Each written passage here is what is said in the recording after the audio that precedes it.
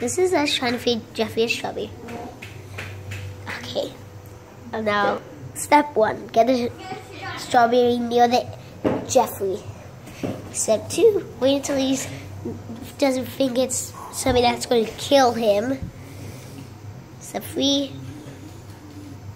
I hope this doesn't backfire and he runs off under the couch. Because these things will squeeze out of anything. And he's only small enough to go on the couch. Oh, don't prickle me. Sorry, I just don't want to get prickled. Because those prickles are going to hurt. I actually was like checking on once, like touched one of them. It hurted. I wasn't bleeding anything, but it hurted really badly. Jeffery, look. Mr. Strawberry's missing you. See? Frowny face. Don't be scared, Jeffery. Calm down, I'm just kidding. Mr. Strawberry, he's shaped like a hat.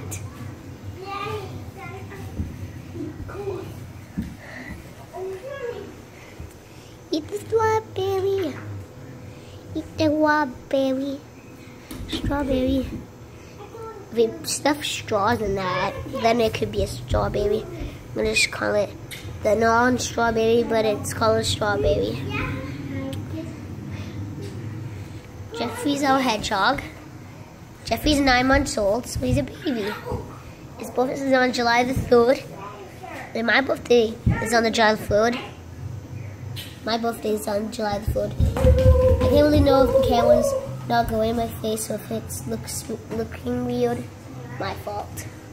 But anyway, Jeffery's having a nice time staring at that strawberry.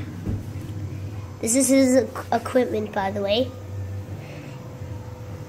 All that in some of his paper mache. That's our table. And I'm trying not to make this video long because I don't want this video long. We just want you to see how to make a Jeffery or hedgehog eat a strawberry, but that's not working might be able to see this video.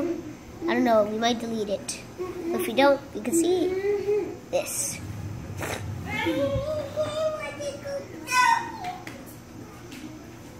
Stop it.